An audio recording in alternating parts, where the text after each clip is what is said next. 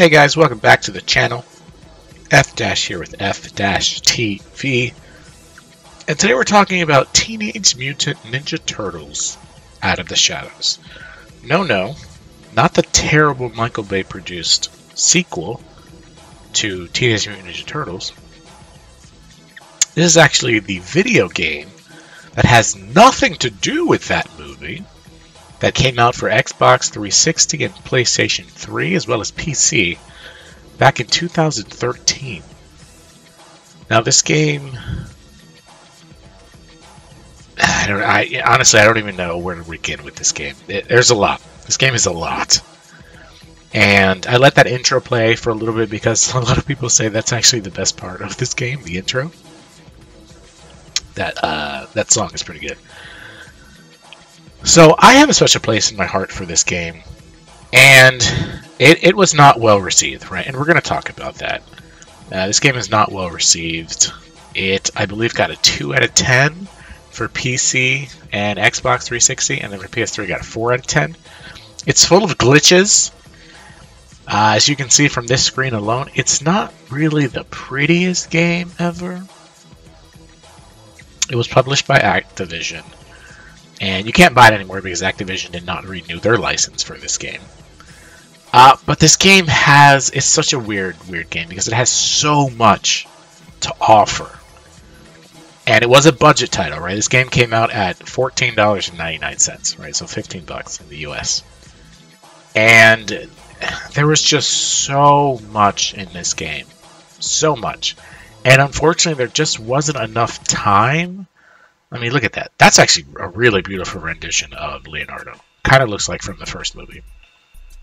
So there's a really there's a lot of stuff in this game, and we're going to talk about it. And it's almost as if they were like they just had so many great ideas for what a Ninja Turtle game in the 2010s should be. And they were like, let's add this, let's add this, let's add this, let's add this. And then when it came came time to, you know, actually like finalize it and pay for it, they ran out of time and or money. You know? And so you can see like the makings of what should be a really, really good game in here. That's just not not in here, right? So I think we will start off with how this game looks. It's not it's not necessarily attractive. You know, it is from 2013, right? So a, a full decade ago. Not the most attractive Ninja Turtle game, right? That probably still is held by the champion of Ninja Turtle games, um, Turtles in Time, right, for Super Nintendo. A beautiful game. So you can see Mikey here sitting down. He looks looks hideous, right? So the thing with the design of the turtles, and I don't think, uh, maybe if I go to stats, I can show you them a little more up close. The design of the turtles is interesting because it's an amalgamation of a few different turtles right? To me, it's like a little bit of the of the cartoon at the time, a little bit from the maybe the first movie, and then a little bit from the CGI TMNT movie. You know, uh, I don't. That's what I see. I mean, like Donatello's, he's a hideous beast. That's just ugly. Mikey, holy crap. And Raph, Raph probably, Raph and, and Leo probably look the best. But yeah, so design wise, not the prettiest game. It was never going to be, you know, graphically advanced for its time. It just wasn't going to be. So that's not really a great starting, right? But what what what did the game try to do well? Well, one of the things is this move list here. Uh, there's a ton of moves, right? So these are your team-based moves. Um, you have like your own character-based moves in terms of what he can do you have, of course, your combat, and then you got your specials and defense, attacks and finishers. It's just there's so much in here. There's there's an absolute metric crap ton of maneuvers and moves, and a lot of them are situational, right? So you've got your basic, you know, four hit combo. You've got your, you know, so for your weapon, and you also have some kicking abilities. So the difference between, you know, like punching and kicking is that kicks, as it says there, actually, it actually doesn't say there. So kicks uh, break blocks, right? So if they're blocking a lot, your your square attacks, and you just hit them with with kicks, and it'll break it. Then you got some holding stuff, and then, like I said, this game tried to do a lot. Uh, so one of the things it does, and it does relatively well, is it has this thing called TPKO. As you can see here, it says it unlocks a new Turtle Power KO move. If you're not familiar with this game at all, it's actually based off of Batman Arkham Asylum, as all uh, beat 'em up games from the 2010s were, right? So right there, not a bad place to start. But they just try to do a lot with the moves, right? So it does have like a free flow type of combat. And when you reach like a certain threshold of attacks, then you can do sort of like a special, right? And in this case, those are called turtle power KOs, right? And so you've got a, a number of them. You do triangle, triangle, triangle when they're stunned. You got the shell shocked where you hold R2, which is like your modifier, you press circle, and you also have like a throw finisher. And then, I mean, there's like team up attacks, right? So, so you can hold R2 and then press X, and that does like a team up attack. Uh, you can switch on the fly, whichever character you want to be uh, as you're playing, which is pretty cool. And for the most part, there are there are also counters in the game, right? So as you can see here, leaping counter, you press circle, then you press X, then you press triangle, and you do like a leaping counter. So say you've got a bunch of different counter abilities, just like Batman, right? The problem comes in when you try to do specials. Like I said, they ran out of buttons, essentially. And so your specials are done with the right stick. And you have to like twirl it or spin it counterclockwise. And it's just it just doesn't work. It doesn't work because like this is a full 360 but this one's only a 180 you know? And the it's really really imprecise. It's so difficult to actually do the maneuver appropriately. It's just it's really really hard.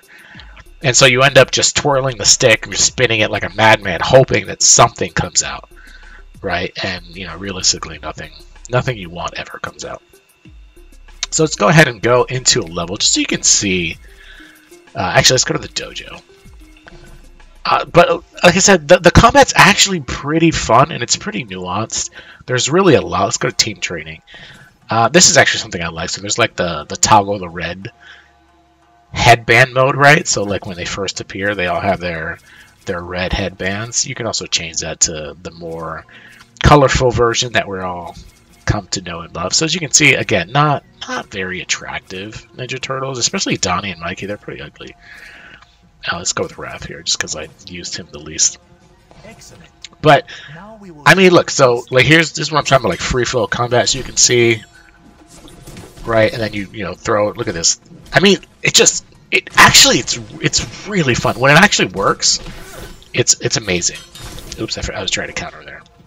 And like I said, you can quickly switch to, you know, whatever turtle you want. Oh my god, just getting destroyed here.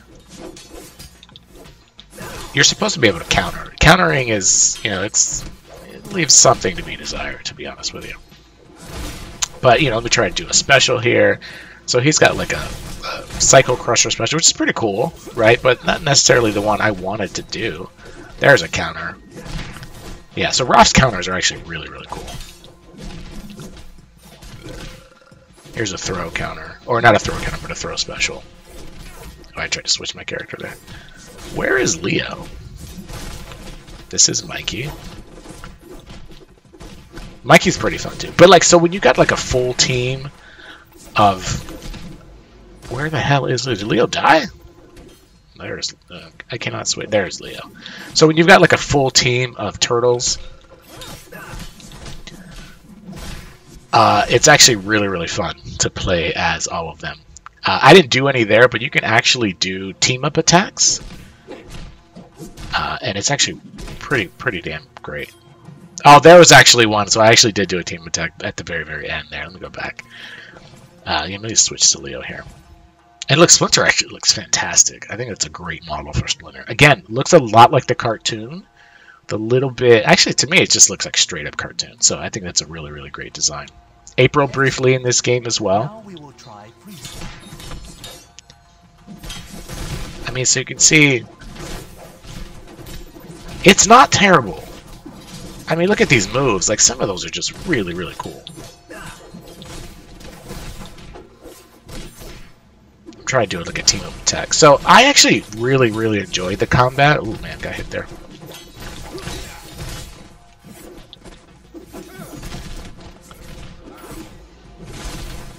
Uh, I know uh, a lot of people didn't. They thought it was like slow and clunky, and I'm not saying it's not, but believe me, I've seen hella worse.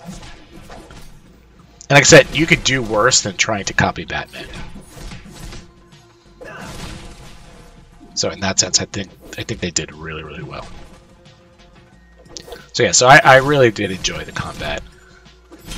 Except for trying to do specials. Like trying to do 180s and then 360s, you're just going to end up doing 180s. I'm just going to end up doing 360s. It's just, it's really, really difficult to do that. So I, I like I said, I, I did enjoy the combat of this game. It's also pretty difficult.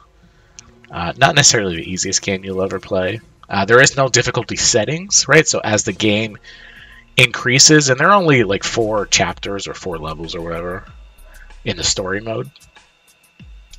So you see, there's only four chapters, and so you would think, oh, well, this is really short, um, and it's not necessarily long, but each chapter's it's got significant amount of length to it, right? In the fourth chapter, you're like in the Technodrome.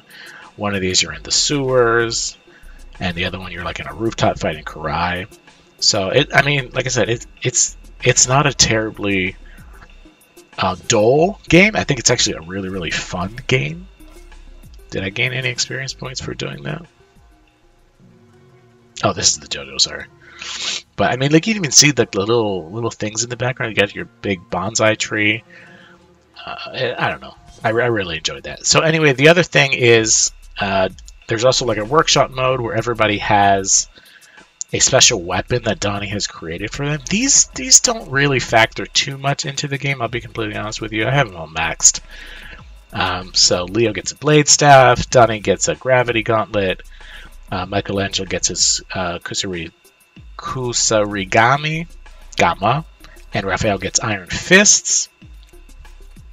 Uh, you end up not really using these, to be honest with you. So you don't have to worry too much about that. Um, You've got, of course, concept art and whatnot that you can unlock at the fridge. I almost have all of them. There's April. So she looks pretty cool. There's Karai. A really good design for Karai, too, honestly. There's some foot soldiers, the dummies. Mousers are in this game. Then you got Baxter, the Cerberus Mouser. You got the Krang. Then, you know, the Krang outside of his body. And then there are these two I haven't unlocked yet because I haven't actually finished survival mode. So this game does have a survival mode.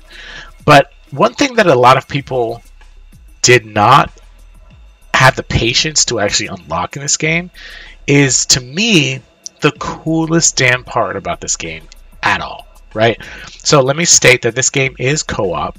Offline, you can play two players, which is a weird choice because there's four turtles. Online, you can actually do four-player co-op, full-on Ninja Turtle co-op. Additionally, you can um, you can go to and play the arcade. So the arcade is, as it says there, Donnie's custom arcade cabinet. And just just take a look at this, and you'll see what I mean. This is as close as to Turtles in Time as you're going to get. You know, um, way better than the reshelled version. This is actually a really really cool version, and it's you know classic arcade style. This is actually four players. And it's one of the things that a lot of people didn't really unlock because you have to, in order to get more levels in this arcade version, you have to. I will pick. Uh, yeah, I'll do Leo. You have to actually, you know, play the actual game, and so most people just didn't do that. And honestly, it's it's really fun because you get to keep all your same moves, and instead of the game being like 3D, You see right there, you can play four players in arcade mode. You don't get any EXP in this version, but look at this. You just you just go, right? And you can't also switch characters either, so you're kind of stuck here. But you have all the same moves as you would have. Yo, if I could counter, it'd be great. And another. You can like vault over people.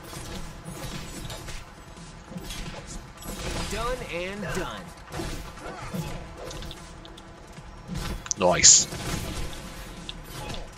But yeah, this is honestly one of my favorite modes in the game. And I keep uh, pressing the wrong button for counter because I'm used to Arkham. But there's like little secrets here and there. It's just I think it's a really cool thing to to include in this type of game. So But yeah, so I mean honestly this is I don't hate this game. I really don't. If I hold it. Look Oh yeah, see if you hold it, it goes up even You higher. guys out looking for some self-respect? But look, here's a little power up. I just wish you got XP in this mode, honestly.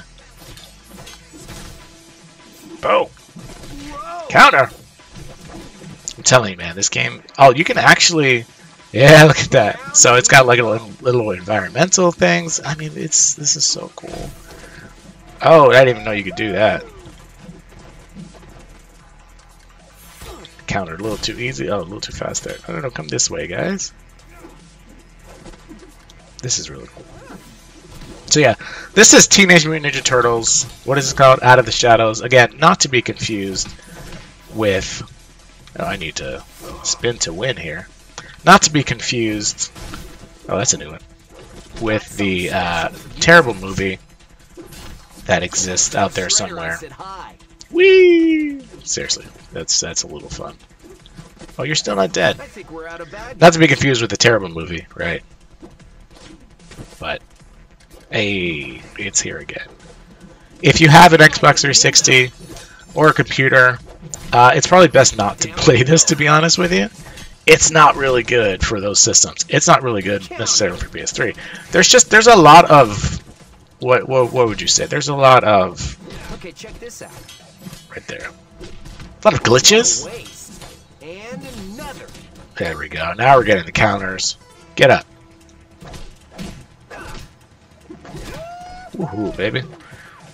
Got him. There's even a, like a run button. You can do like some pretty cool stuff. I'm telling you, there's there's the combat in this game is really really good if you just give it the chance, right? Is it as good as Arkham? Of course not. Very few things are.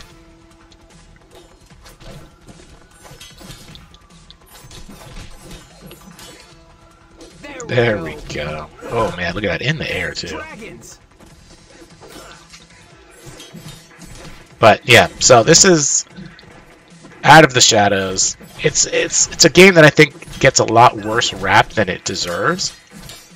I think it's actually a pretty competent Ninja Turtle game. Honestly, probably one of the better ones, to be honest with you. That you know, a lot of people just you know, there there are a lot of glitches, so I, I get it. You may not have played it because of that, and I don't really blame you. But for what it is, for how much it was, I think it's a fantastic game, right? So, I just wanted to, show you this game. It, it, like I said, it has a very special place in my heart uh, because I really, really enjoyed it. And the more friends you have playing it, honestly, the better it is. So, I mean, if you do find yourself with the ability to play it, just give it a shot you know, it it might surprise you a little bit. But thank you guys so much for watching. I want to thank you for for being a friend. but I'll check you guys next time on F-TV. Take it easy.